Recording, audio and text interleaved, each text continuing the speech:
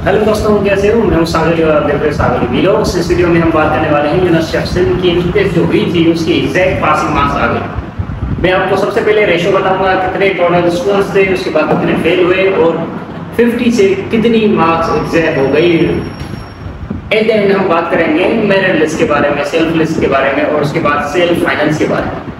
तो ये रही हमारी आउटलाइन एट एंड हम कंक्लूड कर देंगे वीडियो सबसे पहले मैं आपको ये रिपोर्ट्स दिखा रहा हूँ, ठीक है? स्क्रीन पे मैं शेयर कर दूँगा. Scale down in the threshold admission 2024 okay after starting results of the 22 October and 29 October merely 4356 they have candidates out of 21328 okay qualified for admission against 14,825 50 पे पासिंग मार्क्स थी उसमें से जो फेल्योर थे 50 मार्क्स नहीं उठा पाए वो कितने थे? 14,825 और उसके बाद जो यू नो डेसिबल्स हैं जो कि ज़्यादातर जिन्होंने उठाई हैं 72 और जो यू नो हाई हाई जो उनका स्कोर है वो है 72 स्कोर है जिनका हाई स्कोर है हाईएस्ट एट द एंड हमारा जो कैंपसेस हैं कैंपसेस टोटल तो यू नो सिक्स कैंपसेस हैं उसके अंदर इतनी टेस्ट हुई है और ये सिर्फ़ 4,500 स्टूडेंट्स पास हुए अब यहाँ पर जो जो पासिंग मार्क्स कर रहे हैं वो कर रहे हैं passing score of the pre test from 50 to 30 ये जो प्री टेस्ट का जो पासिंग मार्क्स हैं वो कितनी कर रहे हैं?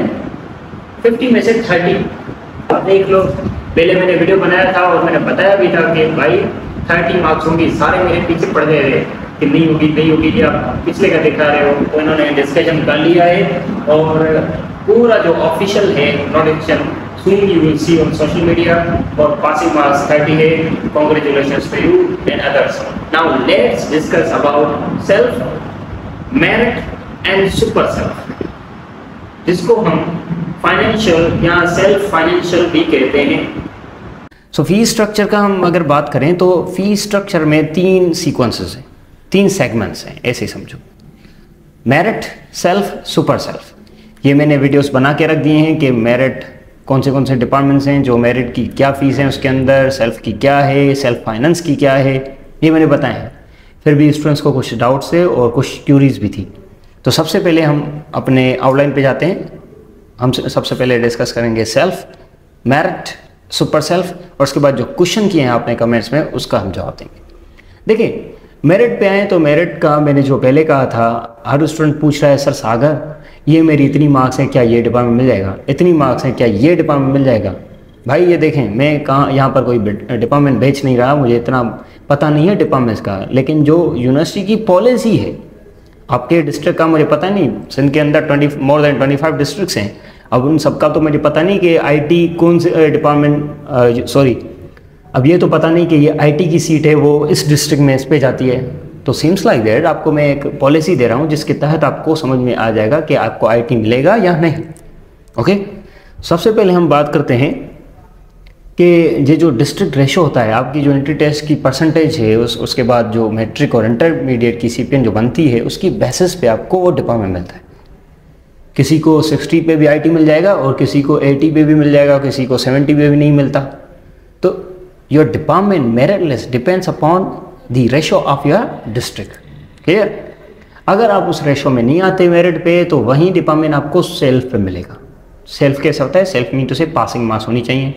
और ये जो डिपार्टमेंट आप सेलेक्ट कर रहे हो, वो सेल्फ पे भी कर रहे हो और मेरिट पे। अगर मेरिट पे मिला है तो मेरिट पे मिलेगा। डिस्ट्रिक्ट रेशियो के हिसाब से। अगर फिर भी मेरिट पे नहीं मिलता तो डिस्ट्रिक्ट रेशियो के हिसाब से ये जो आपका आईटी या फार्मेसी या कोई भी आपको डिपार्टमेंट चाहिए, अगर आप पास हो सेल्फ के जो यू नो रेशो होती है percentage ratio C P N ratio या C G P A whatever you call it अगर आपको ये जो सी पी ए है आपके डिपार्टमेंट की फार्मेसी या आई टी अगर ये रेशो सेल्फ के लिए भी बनता है मेरिट के लिए नहीं बना, और ये जो आपको अगर सेल्फ पे ये डिपार्टमेंट चाहिए तो सेल्फ रेशो भी बनता है, ठीक है? सेल्फ डिस्ट्रिक्ट रेशो फिर ये जो डिपार्टमेंट्स होते हैं, फिर वो आपको डिपार्टमेंट्स सेल्फ पे देते हैं, अगर आप उसके काबिल हों। क्योंकि अगर पाँच सेल्फ की सीट्स हों, और सबकी हाई परसेंटेज हो, जो हाई परसेंटेज होगा, सबसे पहले वो डिपार्टमेंट सेल्फ पे उनको मिलेंगे, ठीक है? फिर आते हैं हम सुपर सेल्फ पे। सुपर सेल्फ पे थोड़ी फ़ी बहुत होती है। अब यहाँ पर सुपर सेल्फ को क्या कहते हैं? फाइनेंशियल कह देते हैं उसको। उसके बाद यू नो सेल्फ फाइनेंस भी कहते हैं सुपर सेल्फ भी कहते हैं। अब इसकी जो एक इसका एक प्रोसीजर है। इसका क्या प्रोसीजर है? आपने अगर एंट्री टेस्ट दी है इट्स ओके okay, नहीं दी है फिर भी इट्स ओके okay, क्योंकि ये सुपर सेल्फ दोनों की है।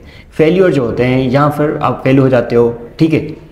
एलिजिबल नहीं होते थर्टी जो मार्क्स हैं या थर्टी फाइव वाट ये जो फाइनल है अभी फाइनल जो कंक्लूजन आएगा वो थर्टी आएगा।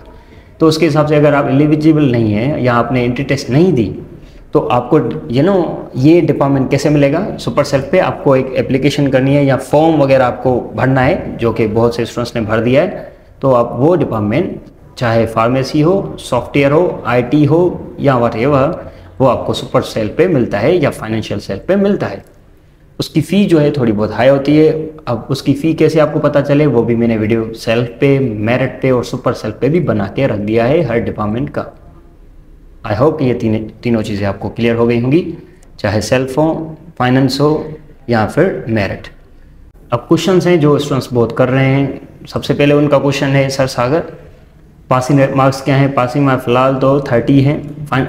यू नो फाइनल नोटिफिकेशन या ऑफिशियल नोटिफिकेशन अभी तक नहीं आया, वो आया जाएगा। उसके बाद स्टूडेंट्स का है, सर, आगे प्रोसीजर आगे प्रोसीजर भाई, तब होगा जब आपकी इंटरमीडिएट की रिज़ल्ट आएगी सारे डिस्ट्रिक्ट्स के अंदर। तो इंटर की जब आप रिज़ल्ट अपलोड कर रहे हो, उसके बाद क्या लगेंगी? लिस्ट मेरिट पे लगेंगी, अगर आपने मेरिट पे सेलेक्ट किया है सेल्फ पे लगेंगी, अगर सेल्फ पे सुपर सेल्फ पे अगर आपने जो अपलोड किया है सुपर सेल्फ पे क्लिक करके। ठीक है? आप दोनों भी कर सकते हो सेल्फ और मेरिट ये दोनों करो आप. ठीक है? फेवरेबल कंडीशन होगी है उसके बाद आगे प्रोसेस क्या है? सर हमारे क्लासेस कब होंगे? तो फ़िलहाल छोड़ दो. ठीक है?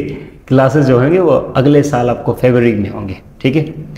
आगे जो जो प्रोसेस होगा, वो हम आपको गाइड कर देंगे। Thank you so much for watching I hope आपके जो क्यूरीज हैं, वो क्लियर हो गई होंगी। मेरिट सेल्फ और सुपर सेल्फ की।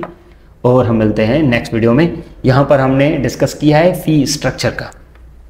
आगे वीडियोस में हम बात करेंगे स्टडी इन्वायरमेंट के बारे में। उसके बाद पॉलिटिकल इन्वायरमेंट रिलीजियस इन्वायरमेंट या इंफ्रास्ट्रक्चर का, या एडमिनिस्ट्रेशन का, इन चीज़ों के बारे में। ठीक है? Thank you so much for watching